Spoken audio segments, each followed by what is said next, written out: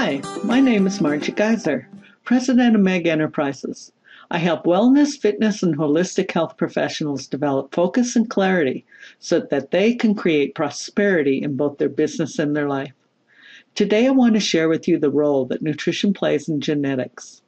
In 1990, the Human Genome Project was started in order to identify all the genes in human DNA, determine the sequences of the chemical base pairs that make up that DNA, store this info in databases, and improve tools for data analysis.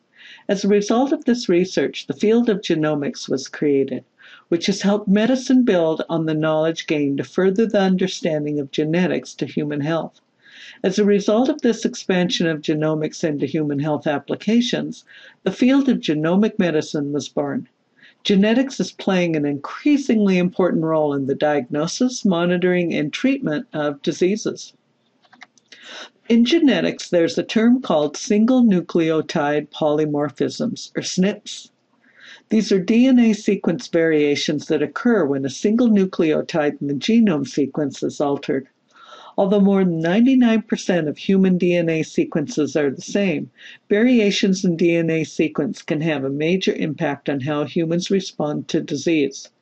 Environmental factors such as bacteria, viruses, and toxins and chemicals, and drugs and other therapies.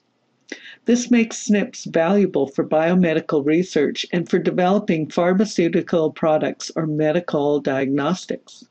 SNPs are also evolutionarily stable, not changing much from generation to generation, making them easier to follow in population studies.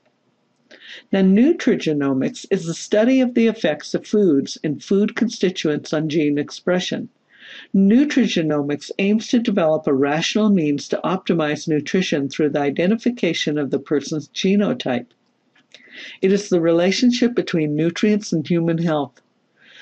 Now that I've shared about the Human Genome Project and what SNP is, the question is how lifestyle, nutrition, and genomes interact.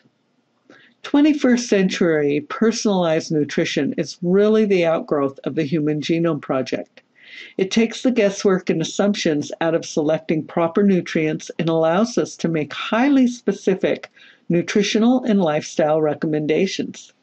Today, we understand that nutrients we consume can change a gene's performance by acting on its control region, and that communication between environment and genetics regulates the rate of protein synthesis. Now, let's discuss the role that nutrition plays in genetics and look at three nutrients as an example.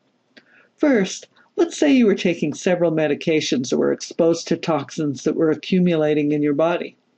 If you were to eat foods high in glucosinate, such as broccoli, cauliflower, or Brussels sprouts, they will activate the genes responsible for cleansing the body of toxins.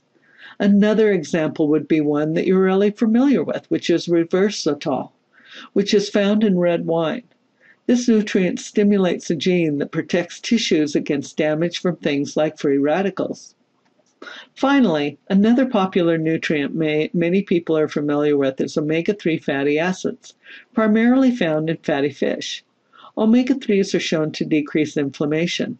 The way this works is the omega 3s have a direct effect on the gene expression of neurotransmitters for mood enhancement. The final takeaway from all of this is not all supplements and nutrients affect everyone the same way. It might be worthless for me to take a particular supplement that my friend takes. So this means being clear what your genes say and then plan your nutrition protocol accordingly. If you'd like to learn more about nutrigenomics and the role nutrition plays in our genetics and how it'll help you grow your business, join me and Leslie Koskela as we educate you about nutrigenomics in a three week webinar series entitled Nutrigenomics 101 building your business with genetic testing. Sign up now to take advantage of our early bird special. Thank you so much for joining me today.